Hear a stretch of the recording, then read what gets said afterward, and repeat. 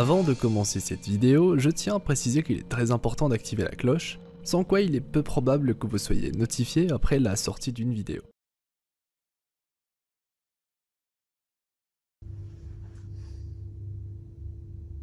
Bonjour à toutes et à tous et ravi de vous retrouver malgré la torpeur de l'été, mais c'est vrai qu'on a eu des chiffres extrêmement importants, les fameux chiffres du PIB hein, du deuxième trimestre 2020. Vous savez, hein, pendant la pandémie, pendant le confinement, on s'attendait bien sûr à des baisses assez importantes, mais elles ont été encore plus fortes que prévu, en particulier en France. Alors il y a eu beaucoup de chiffres qui ont circulé par rapport aux États-Unis, on dit que la France n'est pas si grave que ça. On va regarder bien entendu tout ça en détail et puis surtout on va savoir qu'est-ce qui va se produire par la suite? Est-ce qu'on va retrouver, comme certains disent, très vite le niveau de PIB d'avant la crise? Alors tout ça, toutes ces réponses vont avoir lieu, vont vous être données dans quelques instants. On commence tout de suite évidemment avec un premier graphique, le graphique qui montre l'évolution du PIB en France. Je vous rappelle qu'au premier trimestre, on a une baisse sur le trimestre de 5,9% que l'on voit ici, un petit bâtonnet bleu, et ensuite au deuxième trimestre 2020, alors là, c'est évidemment euh, la dégringolade, moins 13,8% de baisse du PIB, on voit ces deux bâtonnets bleus ici, et donc évidemment ce qu'on appelle le glissement annuel au deuxième trimestre 2020, ça veut dire le niveau du PIB du deuxième trimestre 2020 par rapport au deuxième trimestre 2019. C'est ce qu'on appelle un glissement annuel, une variation annuelle. Et bien là, regardez bien, c'est tout simplement du moins 19%. C'est du jamais vu, bien sûr, on le voit dans l'histoire de France. Là, on commence à 2000, mais même si on, on pouvait remonter jusqu'au début des statistiques modernes, c'est-à-dire euh, après la Seconde Guerre mondiale, on n'a jamais vu ça, évidemment, c'est assez dramatique. Ce qui est encore plus dramatique, c'est que tout baisse malheureusement. Hein, dans tous les postes de la demande sont en baisse. On va voir deux principalement. D'abord, euh, je dirais la consommation des ménages qu'on voit ici en vert. Alors regardez, sur un trimestre, la consommation des ménages, moins 11%. Et en glissement annuel, toujours en France bien sûr, hein, moins 15,6%. Et encore plus grave, la courbe rouge, c'est l'investissement des entreprises. C'est-à-dire une sorte d'indicateur avancé, notamment de l'emploi. Et là, regardez, ça s'est encore plus effondré. Moins 16% euh, au euh, deuxième trimestre 2020, moins 22,4% en glissement annuel. Alors, si on regarde la dernière récession hein, de 2009, Là aussi, l'investissement avait beaucoup baissé et on était sur une baisse de l'ordre de moins 13%. Donc c'est bien plus grave euh, que d'habitude et surtout, si l'investissement s'effondre, on comprend bien que derrière, il y aura de plus en plus de chômage parce que les entreprises ne vont pas embaucher. Donc c'est ça qui est très dangereux. On s'attendait bien sûr à des baisses, surtout sur la consommation, mais là on voit que l'investissement également s'est effondré. Euh, et bien entendu, je rappelle qu'on a ici tout le PIB. C'est pas que les biens, c'est également les biens et services.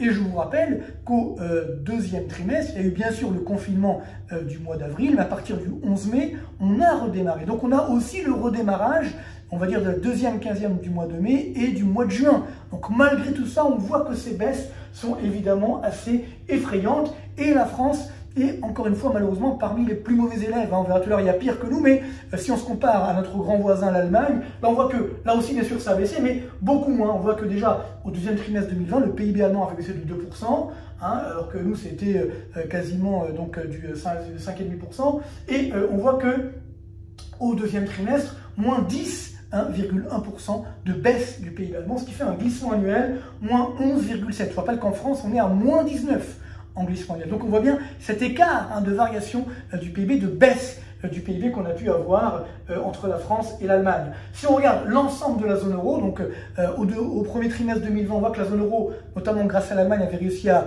limiter les dégâts, hein, moins 3,6% de baisse du PIB au premier trimestre. Regardez au deuxième trimestre, alors là, on n'arrive pas à éviter les dégâts, moins 12%, et en glissement annuel, moins 15% donc de baisse du PIB de la zone euro. Évidemment, quand je parle du PIB, c'est toujours hors inflation, bien entendu. Hein. Je précise parce qu'on ne sait jamais, les chiffres parfois peuvent prêter à confusion.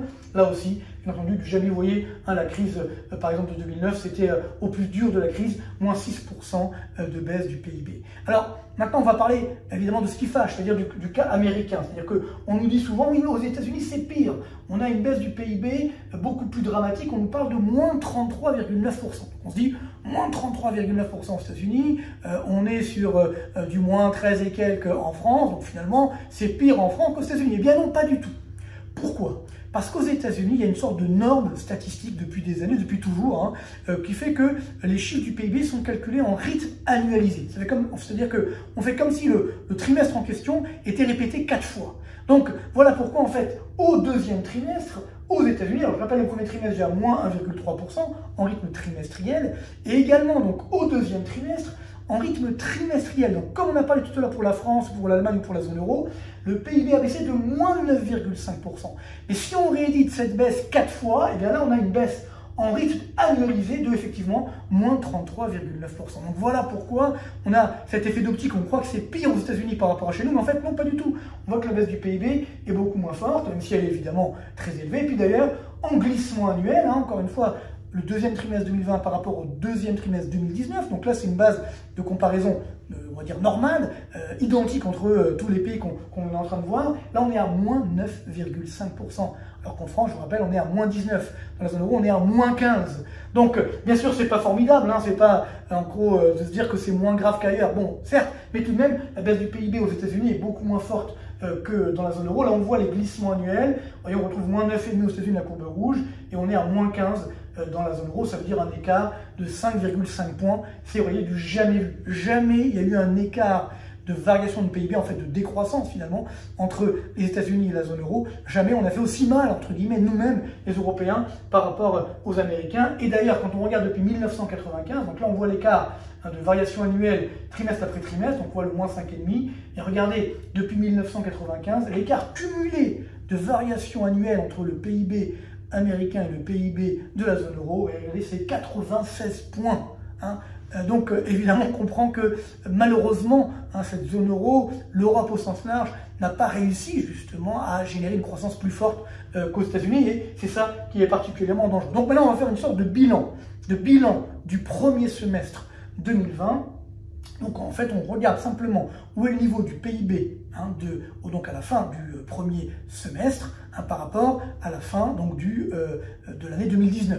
Combien a-t-il varié pendant cette période, pendant ce premier semestre 2020 Donc le pire, pour l'instant, parce qu'on n'a pas encore notamment les chiffres du Japon par exemple, le pire c'est pour l'instant l'Espagne.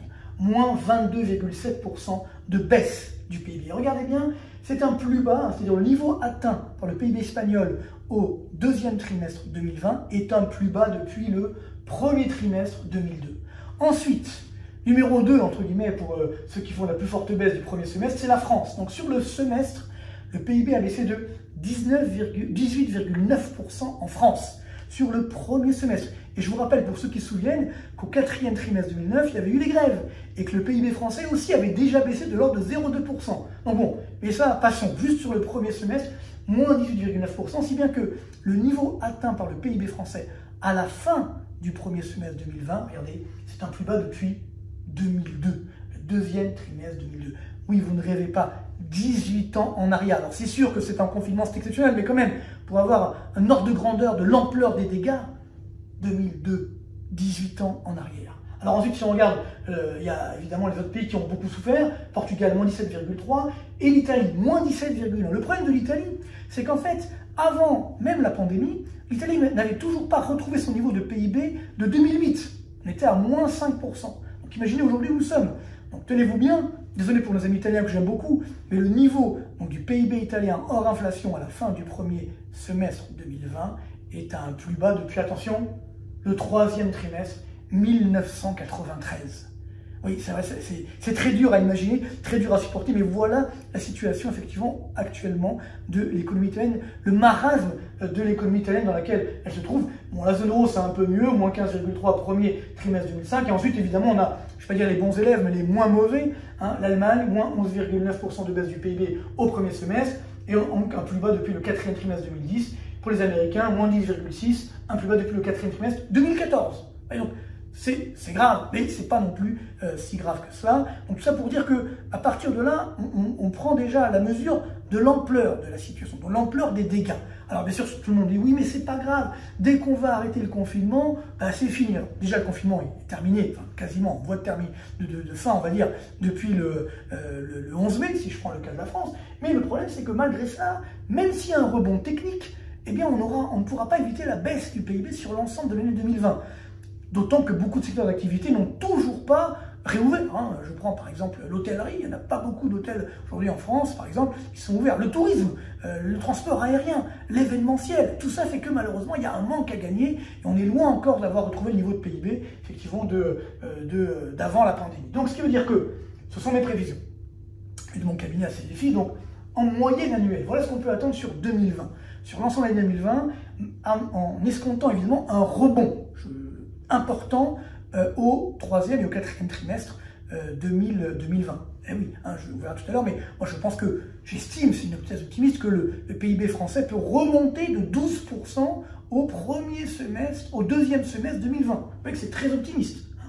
Eh bien, malgré cela, regardez la France, on aurait une baisse du PIB de 11,2% en moyenne annuelle. Alors il y aura pire, hein, il y aura notamment, nos amis italiens, moins 11,8, nos amis espagnols, moins 15, la zone euro, moins 9,2, puis il y aura un peu mieux, euh, les États-Unis, moins 4,7, l'Allemagne, le Royaume-Uni, moins 7%. Donc ça sera historique partout, mais c'est vrai que chez nous, malheureusement, en France, dans les pays du Sud également, ça sera bien plus grave. Ce qui veut dire que le taux de chômage, c'est ça aussi, hein, le, chiffre de, PIB, c'est pas le plus important, ce qu'on sait le taux de chômage à côté, même s'il y a beaucoup d'aides, on, trafique un peu, sans être méchant. Quand je dis ça, les chiffres ne sont pas réels, puisque clairement, quand quelqu'un n'a pas pu aller se déclarer au chômage, on ne compte pas dans les statistiques, puis il va avoir des aides, etc. Mais malgré tout ça, on va avoir un taux de chômage en France qui pourrait atteindre 15% d'ici la fin 2020. Donc ça, il faut évidemment le garder en tête. Donc à partir de là, je me suis posé une question, que tout le monde se pose d'ailleurs, qui est dire quand est-ce que nous allons retrouver le niveau de PIB d'avant la pandémie, d'avant le confinement? C'est une grande question. Beaucoup de mes confrères, certains, disent oui, non, mais c'est rien. Là, maintenant que ça y est, euh, il n'y a plus de confinement, déjà, espérons qu'il n'y aura pas de reconfinement, mais admettons, euh, on va trouver le niveau de PIB automatiquement d'avant euh, la pandémie. C'est une grave erreur. On ne peut pas mentir aux Français. pour une raison simple, c'est que c'est comme un paquebot. Une fois qu'il s'arrête, euh, quand on doit le redémarrer, ça prend du temps. Ce n'est pas immédiat. Et donc, ce qui veut dire que j'ai fait quelques petites simulations optimistes, je le tiens à préciser, en fonction de ce qui va se passer à partir du second semestre 2020. Regardez bien.